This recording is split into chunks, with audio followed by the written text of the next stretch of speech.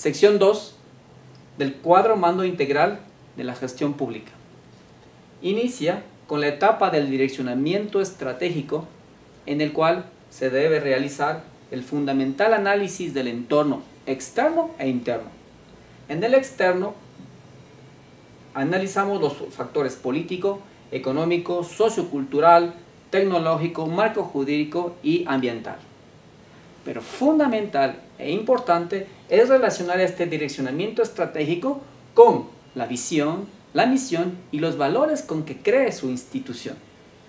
Conjugados el análisis externo e interno con, con la visión, misión y valores, podemos orientar objetivos estratégicos institucionales mismos que se alinean directamente con nuestra cadena de valor institucional.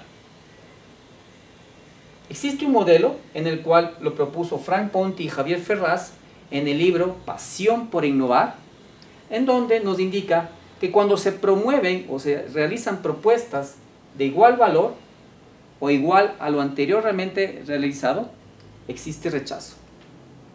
Cuando existe creatividad, va directamente y contribuye con la innovación.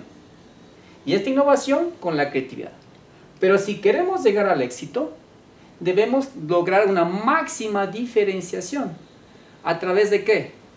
De un cambio, de una comunicación y de la estrategia.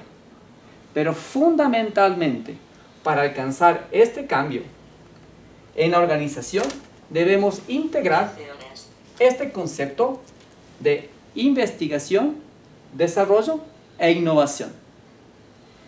Pero vital para una organización es el liderado. Y con ello, nosotros podemos realmente alcanzar este cuadrante de cambio, comunicación y estrategia en nuestra institución pública. Éxitos.